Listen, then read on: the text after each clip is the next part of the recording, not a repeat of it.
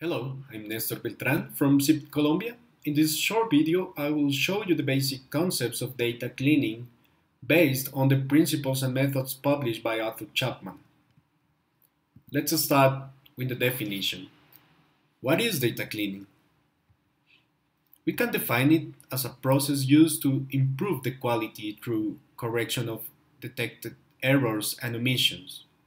This process may include format checks, completeness checks, limit checks, identification of outliers, among others.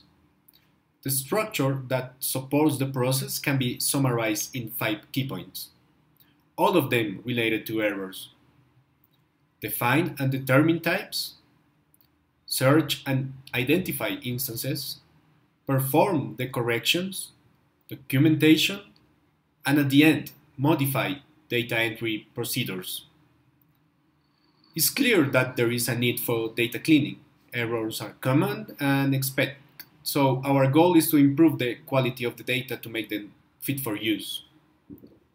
Let's continue with the principles that guide the whole process. The idea with these principles is that you reflect on this when designing your own data quality workflow. Planning. A strategy to implement data cleaning and validation in the organization's culture will improve the overall data quality and also the organization's reputation. Organizing. Organizing data prior to checking, validation, and correction can improve efficiency and reduce the time and cost of the cleaning. Prevention. It is far cheaper and more efficient to prevent an error than to have to find it and correct it later. Responsibility. Responsibility for data cleaning is shared and belongs to all. Partnership. If data custodians can develop partnerships with the key users, then the users are likely to provide feedback on errors that they come across when using the data. Prioritization helps to reduce cost and improves efficiency it is better to concentrate on those records which can be cleaned at the lowest cost, or for which there is a high demand from the users, for example. Performance measures may include statistical checks on the data, on the level of quality control and incompleteness. Optimization may include avoiding duplication as a major factor with data cleaning in most organizations. Feedback. Users of the data will inevitably carry out error detection, and it is important that they feedback the results to the custodians. Training.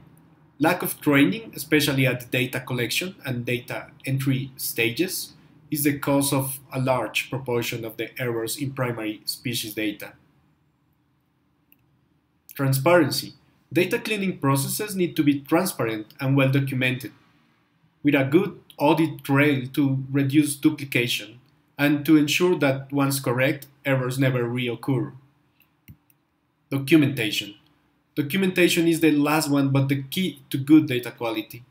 Without good documentation, it is difficult for users to determine the fitness for use of the data and difficult for the custodians to know what by, whom data quality checks have been carried out. Well, thanks a lot for your attention. We will continue with the exercise proposed for this activity. See you in the next video. Bye.